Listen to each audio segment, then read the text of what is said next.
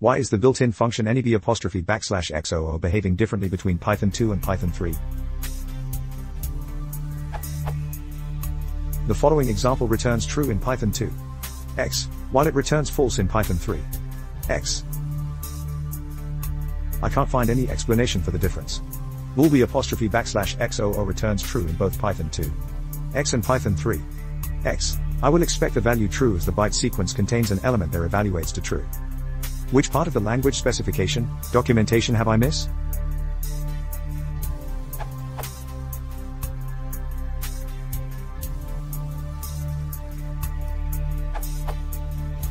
On Python 2.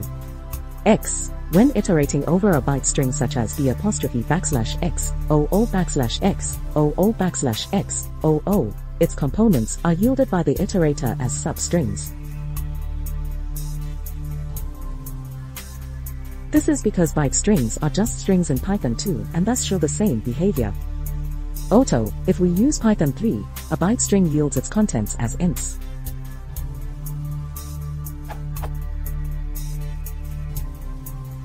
And from this difference, everything else is clear, as we already have noted, bool b apostrophe backslash x o o is true while bool 0 is false.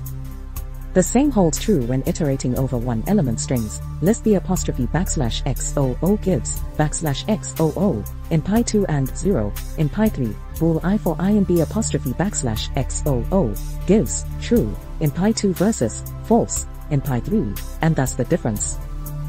Note that,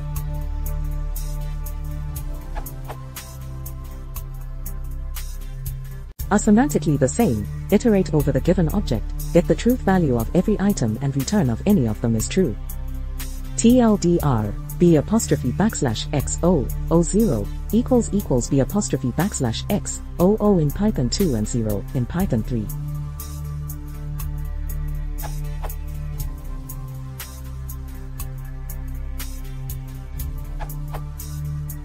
In Python 2, the apostrophe backslash XOO is type str, in Python 3, the apostrophe backslash xoo is backslash type bytes. In Python 3, while bytes literals and representations are based on ASCII text, bytes objects actually behave like immutable sequences of integers. This URL.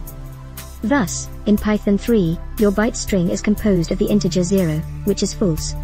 In Python 2, it is composed of a str character, which is non-empty, and therefore true.